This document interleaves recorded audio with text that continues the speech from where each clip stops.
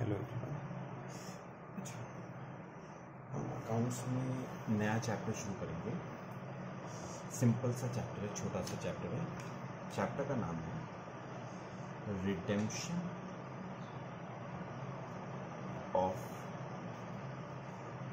Preference shares अच्छा वैसे अगर आपको याद हो तो रिडेम्पशन ऑफ़ प्रेफरेंस शेयर्स के थियोरिटिकल एस्पेक्ट आपसे सेक्शन 55 ऑफ़ कंपनीज़ एक्ट में मैंने डिस्कस किया था, ठीक है?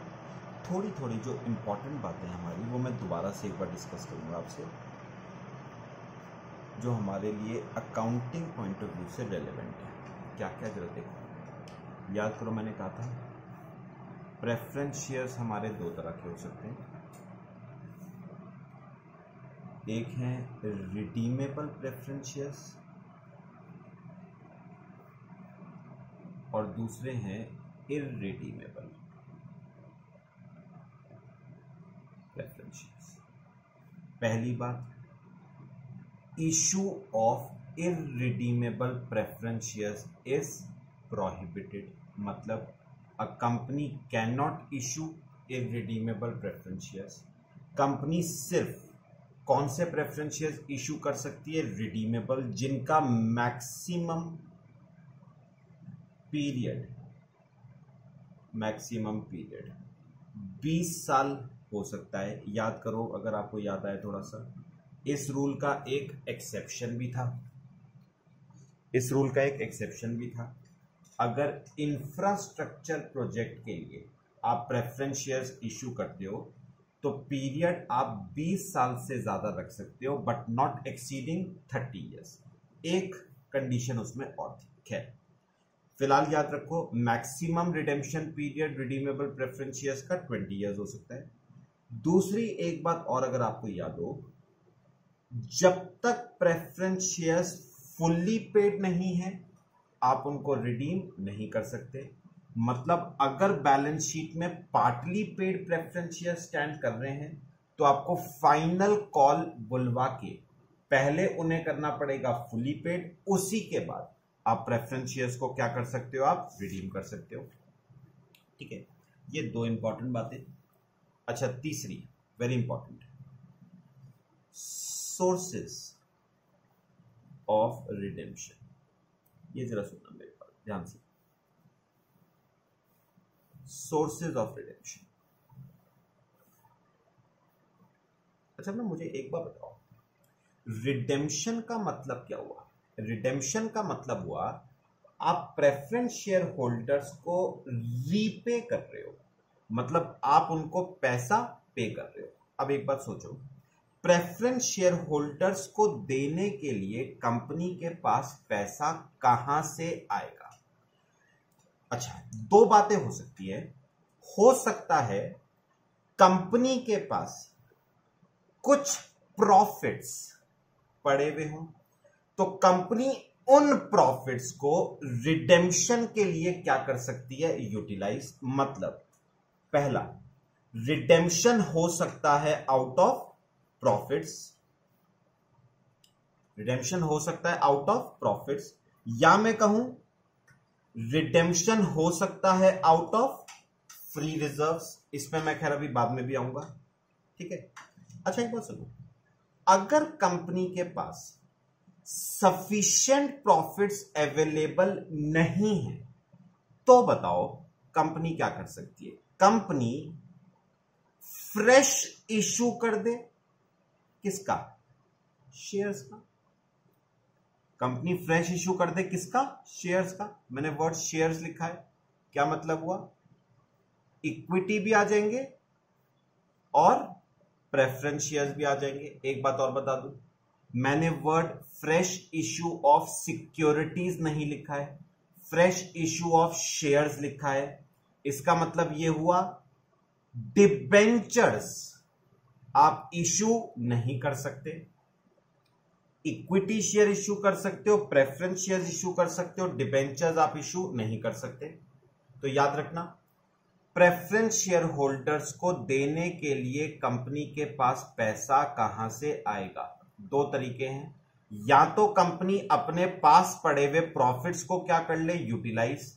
अगर प्रॉफिट सफिशिएंट नहीं है तो पब्लिक को क्या इश्यू कर दे, fresh issue of shares. Be it equity be it preference. Debentures issue नहीं कर सकती। फिर फोर्थ, अब आपको अगर याद हो तो मैंने सेक्शन 55 में कराया था कि जब कंपनी रिडेम्पशन करती है ना तो कंपनी को मैंडेटरी है उसे कुछ पैसा कैपिटल रिडेम्पशन रिज़र्व में ट्रांसफ़र करना पड़ता है। याद है कुछ? कितना पैसा आपको कैपिटल रिडेम्पशन रिज़र्व में ट्रांसफ़र करना पड़ता है? Equivalent to nominal value of preference shares redeemed out of profits.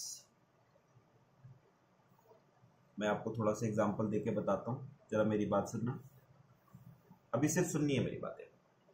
अच्छा इमेजिन करो हम एक लाख रुपए के प्रेफरेंस शेयर्स रिडीम कर रहे हैं। मतलब प्रेफरेंस शेयर होल्डर्स को देने के लिए हमें एक लाख रुपए चाहिए। अच्छा एक लाख में से सत्तर हज़ार रुपए के प्रॉफिट्स मेरे पास ऑलरेडी पड़े हैं। तो सत्तर हज़ार रुपए के तो मैंने प्रॉफिट्स यूटिलाइज कर लिए। बच गए तीस हज़ार। तीस हज़ार के मैंने फ्रेश इश्यू कर दिए शेयर्स का। अब मुझे बताओ, एक लाख के रिडेम्पशन में से कितने रुपए का रिडेम्पशन आउट ऑफ़ प्रॉफिट्स हुआ? सत्तर हज़ार का। तो आपको सत्तर हज़ार रुपए। बताओ, कहाँ पर ट्रांसफ़र करने पड़ेंगे? कैपिटल रिडेम्पशन रिज़र्व में। और ये आपका कंपलसरी है। कोई ऑप्शन नहीं दे रही है कंपनीज़ एक्ट। कंपलसरी है ये। अच्छा फिर मैंने कंपनीज़ एक्ट से पूछा कि भाई ये बताओ, इस कैपिटल रिडेम्पशन रिज़र्व को हम यूटिलाइज किन कामों के लिए कर सकते हैं? ठीक है, गवर्नमेंट ने क्या कहा? कंपनीज़ एक्ट ने क्या कहा? कैपिटल रिडेम्पशन रिज़र्व सिर्फ़ और सिर्फ़ एक काम के लिए यूटिलाइज होगा और वो क्या है? अगर आप इक्विटी शेयर होल्डर्स को बोनस शेयर्स देते हो ना तो बोनस शेयर्स आप दे सकते हो out of capital redemption reserve ये पाँच बातें हुई। ठीक है? सब डिस्कस कर चुके अच्छा अब आओ। एक दो बातें और। सुनना ये भी करा हुआ है मुझे बताओ redemption of preference shares at premium suppose सुनो सपोज़ एक लाख नॉमिनल वैल्यू के प्रेफरेंस शेयर्स आप 10 परसेंट के प्रीमियम पे रिडीम कर रहे हो मतलब दस हज़ार रुपए के प्रीमियम पे रिडीम कर रहे हो। इसका मतलब आप प्रेफरेंस शेयर होल्डर्स को कितना दे रहे हो? एक लाख दस हज़ार। अब सुनो। अब अगली बात ये आती है, कंपनी के पास ये दस हज़ार रुपए देने के लिए कहाँ से आएँगे?